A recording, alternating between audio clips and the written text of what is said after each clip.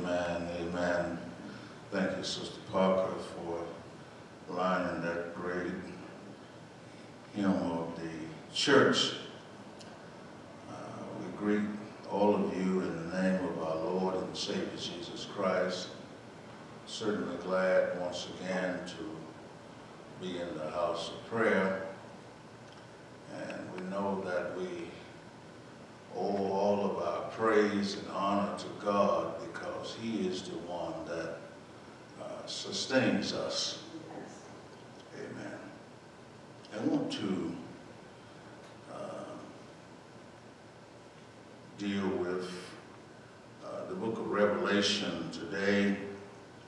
Uh, request your prayers in that uh, I believe that we should approach all scripture in humility, but particularly the book of Revelation. However, I don't think that we should shy away from it because it is, in fact, the Word of God. He's not a God of confusion, and He intended for us to understand uh, His Word. Therefore, we should always depend on the Holy Spirit uh, in its interpretation and proclamation anyway. Revelation chapter 7, reading a few verses from the New King James Version, beginning at verse 1. After these things, I saw four angels standing at the four corners of the earth, holding the four winds of the earth, that the wind should not blow on the earth, on the sea, or on any tree. Then I saw another angel ascending from the east, having the seal of the living God, and he cried with a loud voice to the four angels to whom it was granted to harm the earth and the sea, saying, Do not harm the earth, the sea, or the trees, till we have sealed the servants of our God on their foreheads. And I heard the number of those who were sealed 144,000 of all the tribes of the children of Israel were sealed. That's verses 1 through 4. Moving down to verse 9. After these things I looked, and behold, a great multitude which no one could number of all nations, tribes, peoples, and tongues, standing before the throne and before the Lamb, clothed with white robes with palm branches in their hands, and crying out with a loud voice, saying, Salvation belongs to our God, who sits on the throne and to the Lamb. And all the angels stood around the throne, and the elders and the four living creatures, and fell on their faces before the throne and worshiped God, saying, Amen, blessing and glory and wisdom, thanksgiving and honor and power and might be to our God forever and ever. Amen. That's verses 9 through 12 of the seventh chapter of the book of Revelation. What makes uh, the book of Revelation a bit more difficult than uh, some other books is that it is written in apocalyptic literature prophecy and letter. And one difficulty is that all three of those types of literature or genres does not exist in our time. We have uh, prophecy and letter, but the apocalyptic literature is no longer with us except in the Word of God. The taproot, however, is found in the Old Testament, and we find some apocalyptic literature uh, in books like uh, Isaiah, uh, Ezekiel, and Daniel, and a bit in Zechariah. The rest, as I recall, is here in the book of Revelation. The subject that I want to use today is the servants of God are sealed. The servants of God are sealed. Three points we want to emphasize. The first one, the 144,000. The 144,000. Point number two, the great multitude. The great multitude. And point number three, the church. The church. The setting today in our text precedes Christ's second coming the setting is during the Great Tribulation. Some tried to identify the 144,000 with the church, but the church will have been taken out of the world prior to the second coming of Jesus our Christ. We find that account in 1 Thessalonians chapter 4 verses 13 through 18. Jesus talks about that period of time in the Olivet Discourse in Matthew chapter 24 and 25. And he talks about the coming of wars and rumors of wars and earthquakes in diverse places he talks about some of the things that the Jews in particularly will go through during the great tribulation period. But then he says, but the end is not yet. In Revelation chapter 6, uh, uh, we saw the opening of the seals. Uh, the first six seals point out the great tragedies that will come upon the earth at the beginning of the tribulation. Chapters 4 through 5, the church is in heaven. The seven seals give us an overall picture of that seven year period uh, in chapter 6. Six seals open and we are introduced to the seventh seal, which consists of the introduction of the seven trumpets and the seven bowls of wrath, which is recorded in chapter 8 through 9. Chapter 6 lets us know that God is love. However, comma, his love and his perfection compels him to judge sin and wickedness. People sometimes look at uh, the divine attribute of love and they do not grasp it in its fullness. And they say God is too loving to send us to hell.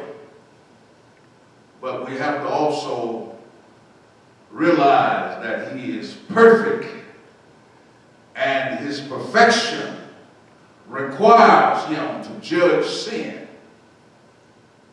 How could he give those that believe in him eternal life, endless existence in his presence, and did not give those that reject him equal punishment, if you will, rather than the punishment uh, that the non-believers will receive will be no less than the greatness of the eternal life. In other words, everyone will live somewhere forever after judgment. But the difference is those of us that love the Lord, that believe that he is the Christ and believe in his finished work, that demonstrate this by faith, will live forever in the very presence of the Almighty God. There are some preachers that are preaching now that there is no hell. Let me tell you, there is a hell. Because if you believe there is a heaven, the same word that says there's a hell is inspired and superintended by the Holy Spirit. Chapter 7 lets us know that the gospel will still be preached during the great tribulation and some will be saved. The Holy Spirit will be in the world after the church is gone the same as he was in the world before Pentecost. You might say, well, Jenkins, what are you going to do with Second Thessalonians chapter 2, verse 7, that talked about lawlessness is already in the world at work. The lawless one, which is Satan, will be revealed after the restrainer, which is the Holy Spirit, has finished his ministry of restraining evil during the church age on earth. But that does not remain because the Holy Spirit no longer restrains evil during the church age, that he's no longer in existence because he always has been and he always shall be because he is God. And the seals are open and we are introduced to the seventh seal, which consists of the introduction of the seven trumpets and the seven bowls of wrath. And as I said before, chapter 6, let us know that God is love. However, his love and his perfection compels him to judge sin and wickedness.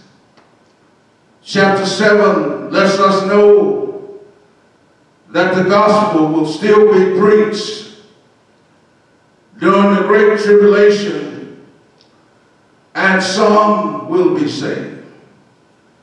The Holy Spirit, as I said before, will be in the world after the church is gone the same as he was in the world before Pentecost. Chapter 7, verses 1 through 3, the question was raised back in chapter 6, verse 17, whether anyone would be able to stand or be saved during the great tribulation. Chapter 7 answers that question and two groups of people are mentioned. First group that's mentioned is those of Israel who are saved and sealed. That is the 144,000, 12 tribes, 12,000 from each tribe.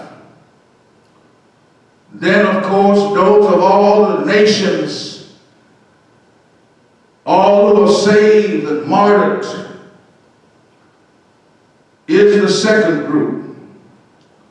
Four angels were told to withhold judgment on the earth until the service of God was sealed. Verse 3.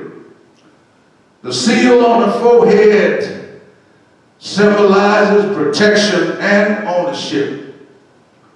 This symbolizes Israel, 12 tribes, 12,000 from each tribe, equaling the 144,000. This is not the church.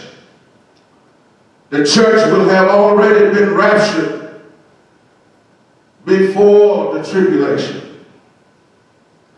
Chapter 7, verses 9 through 12.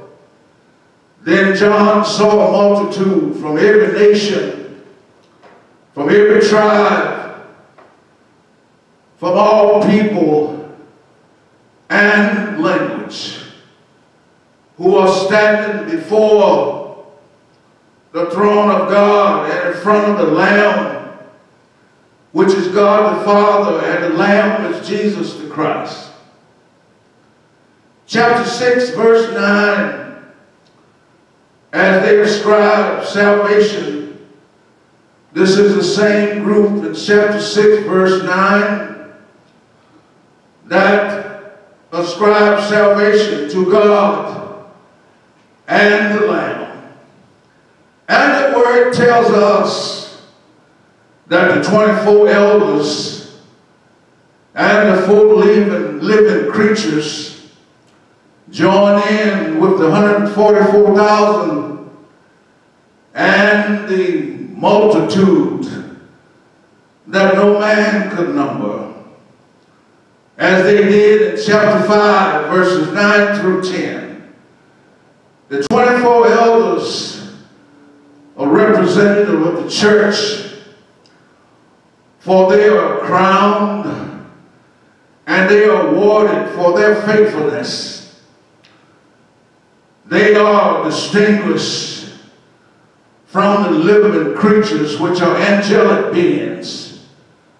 Because nowhere in the scriptures does it say anything about the angels being crowned. But the church, those that believe in the Lord, that are saved by faith, all of our works that according to the judgment seat of Christ, that's not done in faith, will be burned up as wood, hay, and stubble, and we will get no rewards for that. But those things that were done by faith, there will be awards for them. Paul says, as he talks about being offered up and finishing his work, he said there will be a crown of life waiting on him in heaven. Not only will there be a crown for the Apostle Paul, but there will be crowns for those of us that believe as well and believe in the finished work of Jesus Christ. Those in the book of Hebrews that are described that have laid aside those things that so easily beset us and that have ran a race according to the instructions that has been given us. those that love the Lord and that can sing the old hymn that says, I love the Lord and he heard my cry and pitied every throne. I found in him a resting place. And one hymn writer says that he has made me glad. And as the hymn says, as long as I live, when trouble rise, I'll hasten through his throne. I love the Lord. He heard my cry and pitied every groan. I love the Lord. He bowed his ear and chased my griefs away. And as I reflect on the old hymn that says, A charge to keep I have a God to glorify. Yes. And that's reflected not to the Canaan of the earth, but the Canaan which is in heaven which would be the heavenly abode of those that love the Lord. The two groups, the 144,000 and the great multitude, which would include some Jews that was martyred and came out of the great tribulation.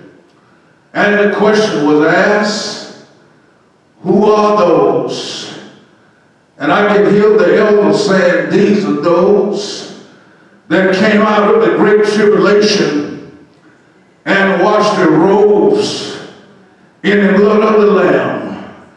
Oh, praise his holy name. It's a peculiar thing and a mystery how we can say the blood, which is red and never use a stain, but is the blood that we wash our robes in that bring forth us with robes that signifies uh, the sanctification and the purity. But I understand the theology because it was only the blood of that Jesus shed at Calvary, only the blood that allowed us to be covered. only the blood uh, that took away the stain of sin uh, and allowed us to be covered.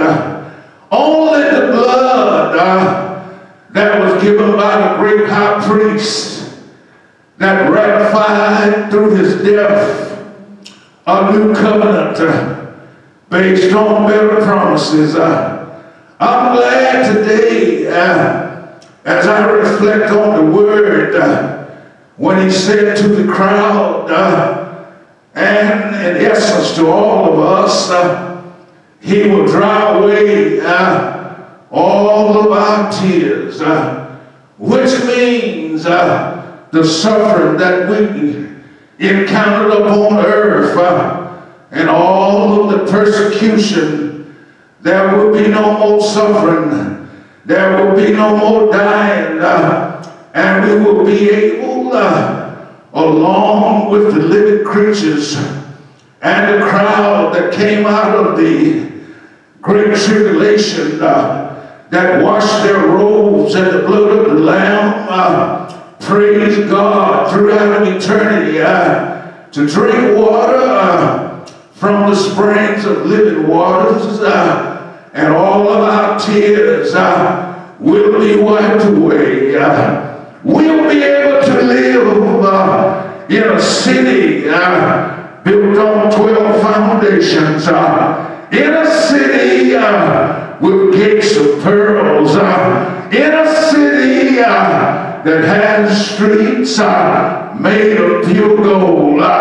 yes, and there will be joy unspeakable uh, throughout all times. Uh, and then as I reflect, uh, as Revelation says, uh, there will be a stream uh, flowing out uh, from the throne of God. there will be a tree on either side of the river, and the leaves will be good for the healing of the nation. And that word healing necessarily mean uh, when we are healed of a disease. Uh, it really means uh, therapeutic, uh, health giving. Uh, the blood of Jesus, uh, the Holy Spirit uh, will keep us uh, alive uh, and healthy.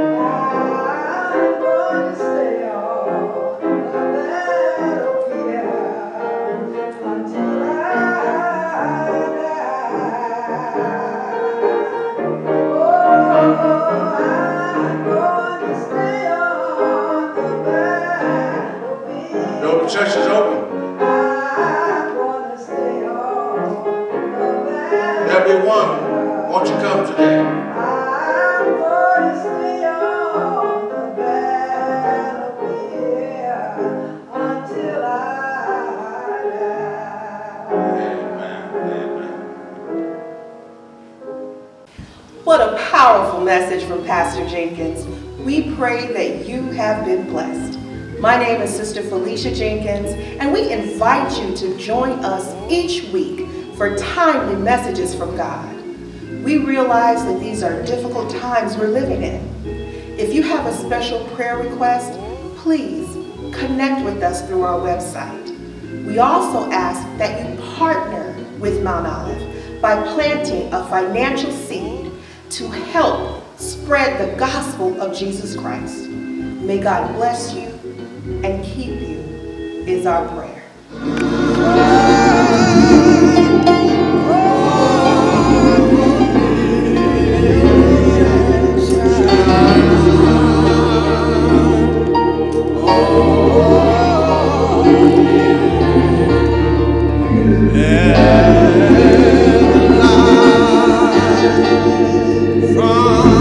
Our hearts.